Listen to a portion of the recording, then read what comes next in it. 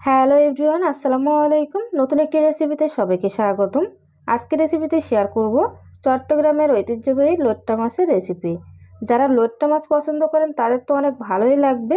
আর যারা লোট্টা মাছ পছন্দ করেন না, তারা একবার এইভাবে রেসিপি তৈরি করে খেলে স্বাদ ভুলতে পারবেন না, এতটাই মজার হয়ে থাকে। কীভাবে খুব সহজে আপনারা লোট্টা মাছ ভোনা, লোট্টা মাছ ফ্রাই বা লোট্টা মাছের ঝুরি ভাজা তৈরি করবেন সব কিছু দেখিয়ে দিব এই ভিডিওতে। আশা করি আজকের ভিডিওটি আপনাদের কাছে অনেক ভালো লাগবে। তো চলুন দেখে আসি।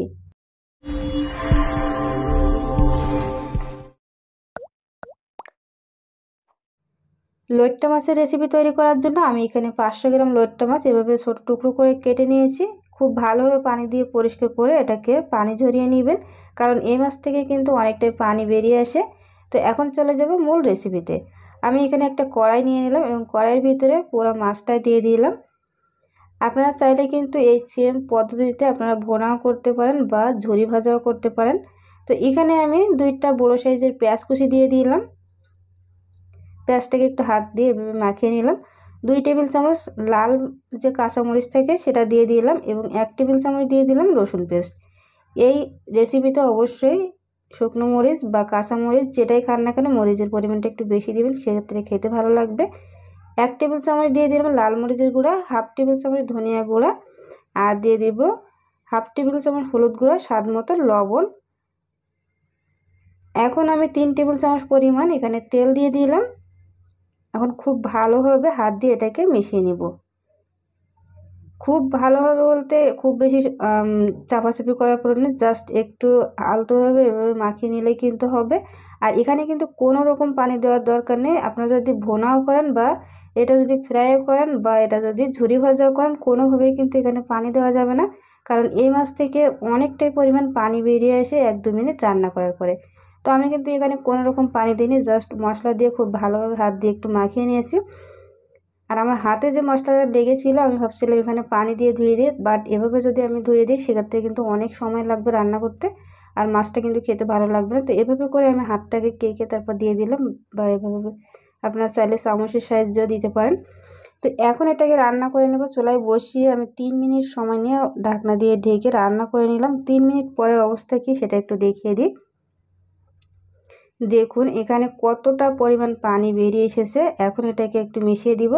আপনারা যদি এটা ভুনা করতে চান, সেক্ষেত্রে কিন্তু কোনোভাবেই চামচ দিয়ে নাড়াচাড়া করা যাবে না। জাস্ট আলতোভাবে একটু দুলিয়ে দিবেন। সেম মশলা দিয়ে কিন্তু এভাবে আপনারা ভুনা করবেন।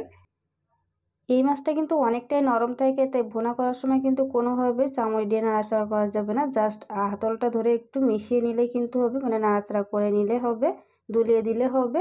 আর সবশেষে একটু ধনিয়া পাতা বা জিরার গুঁড়া দিয়েই কিন্তু নামিয়ে নিলে হবে। আর এটা যেহেতু আমি ঝুরি ভাজা করব, সেক্ষেত্রে এটা এভাবে করে আমি চামচ দিয়ে মিশিয়ে নিলাম। পাঁচ মিনিট সময় নিয়ে আমি এটাকে অলরেডি রান্না করে নিয়েছি। আপনারা চাইলে কিন্তু এই পর্যায়ে এটাকে একটু ধনিয়া পাতা বা জিরার গুঁড়া দিয়ে নামিয়ে নিতে পারেন, যারা এরকম রসালো টাইপের খেতে পছন্দ করেন। তবে আমার কাছে স্পেশালি এটাকে ঝুরি ভাজা মানে একটু কড়া করে ভেজে খেতে সেটাই বেশি ভালো লাগে। এই জন্য আমি চুলা রাসটাকে হাই করে দিয়ে আরও দুই মিনিট সময় নিয়ে এটাকে ভেজে নিব। এই পর্যায়ে কিন্তু খেতে ভালো লাগে, একদমই কিন্তু খারাপ লাগে না। তবে আমার কাছে স্পেশালি ঝুরি ভাজাটা একটু কড়া করে ভাজলে ভালো লাগে। এই জন্য আমি এটাকে আরও একটু সময় নিয়ে ভেজে নিব।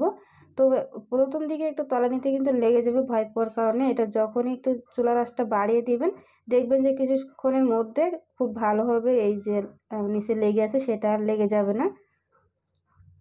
তো আমি অলরেডি কিন্তু ঢাকনা দিয়ে ঢেকে তিন মিনিট রান্না করে নিয়েছি। তারপরে আরও তিন মিনিট অলরেডি হয়ে গিয়েছে। যেহেতু এটা ভোনা করব সরি ঝুরি ভাজা করব, এই জন্য কিন্তু সময় লাগল একটু। আর সবশেষে আমি একটুখানি লেবুর রস দিয়ে দিলাম হাফ টেবিল চামচের মতো। এই লেবুর রসটা দেওয়ার পরে কিন্তু অনেক সুন্দর লাগে খেতে। আপনারা অবশ্যই এটা অ্যাড করে দিবেন। অনেক সময় দেখা যায় মাছে গন্ধ থাকে, সেটা খেতে পারে না। বাট এই মাছে তেমন একটা গন্ধ থাকে না। তারপরেও যদি আপনাদের কাছে মনে হয়, একটু লেবুর রস অ্যাড করে দিবেন। সবশেষে একটু জিরার গুঁড়া দিয়ে আবারও মিশিয়ে তারপর আমি নামিয়ে নিব।